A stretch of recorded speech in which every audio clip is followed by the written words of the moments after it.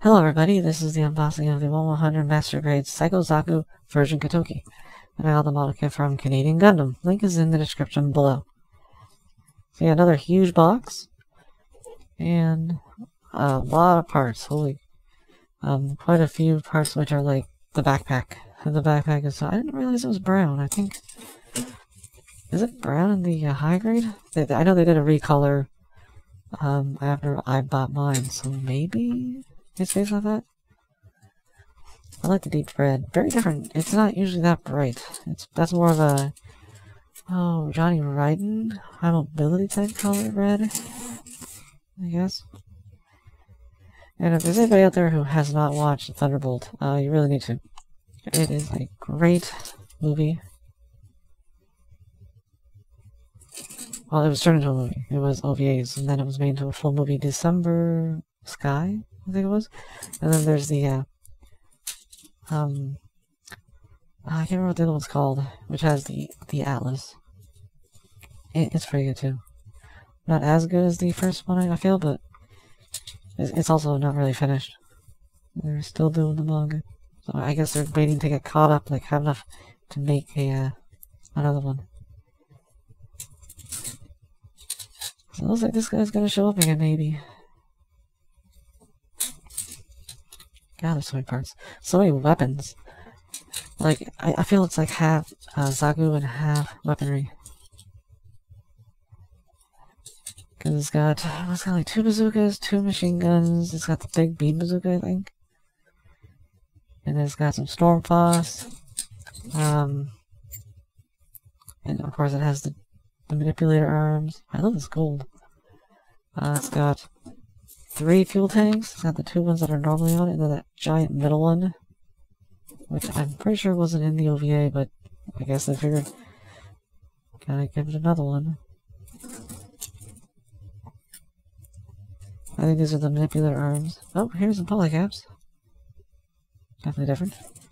Well, some of them are familiar. Uh, more of the backpack. Like I said, a lot of this is backpack. This is the actual Zaku, which does look like the 2.0. It probably has 2007. So I'm fairly certain that is then.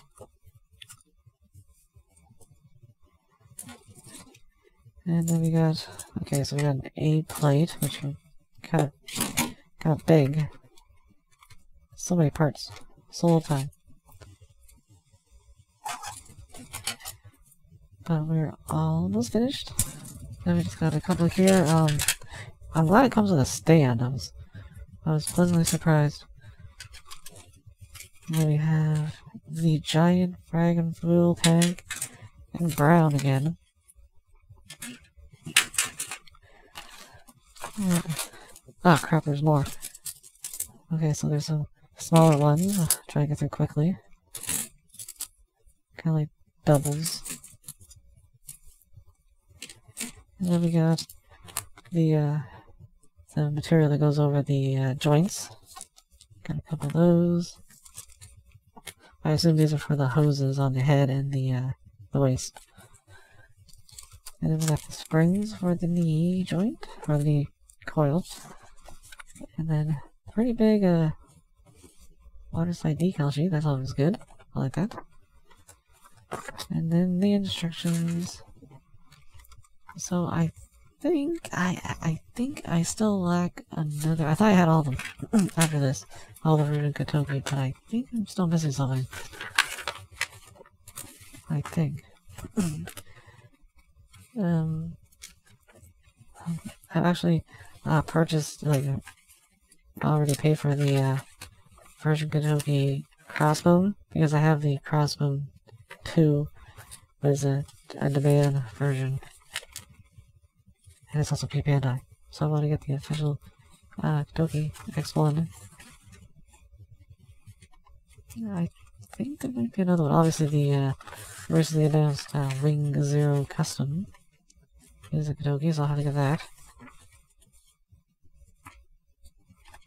And I just, I feel like I'm missing one. I could be wrong. I mean, I have the, the Gundam, the Ball, the Ring Gundam, the Sazabi, the Hi-Nu Gundam, the Nu Gundam. uh, the unicorn, the banshee. I don't have the FedEx. I think is it no, I have the FedEx. I think it's a normal release. I don't think it has the Katoki moniker unless it's like the PBN version, which I'm not trying to count. Because I think have somebody left.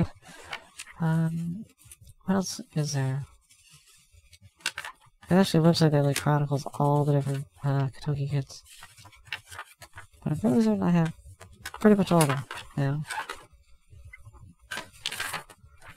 And that's it. So if you want to pick it up, click the link to go to Canadian Gundam, and I'll see you in the next review.